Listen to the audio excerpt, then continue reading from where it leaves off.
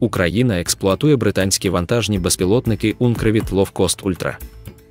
За даними, українські військові застосовують ці безпілотники з 2023 року. Тож розглянемо, що вони собою являють і чим вони корисні. Наразі відомо, що цей дрон здійснює розвідку, а також поповнює запаси для Збройних сил України. Генеральний директор компанії по їх виробництву не уточнив виданню кількості наданих Україні безпілотників Ультра. Міністерство оборони Великої Британії надали їх як допомогу Україні. Безпілотник Ультра є потужним літаючим апаратом з максимальною злітною масою 450 кг і внутрішнім вантажним відсіком на 100 кг. За даними компанії, у відсіку можна розмістити комплект датчиків для розвідки. За заявками розробників, він здатний нести корисне навантаження вагою у 100 кг на відстань до 1000 км.